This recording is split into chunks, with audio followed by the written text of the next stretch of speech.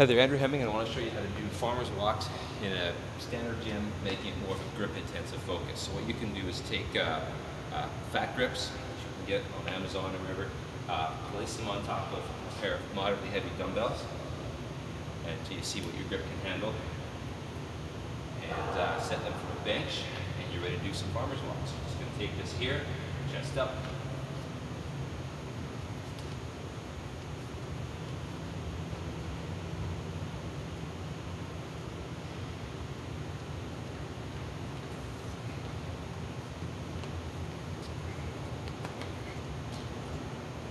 That would be a nice, nice fun challenge for your grip.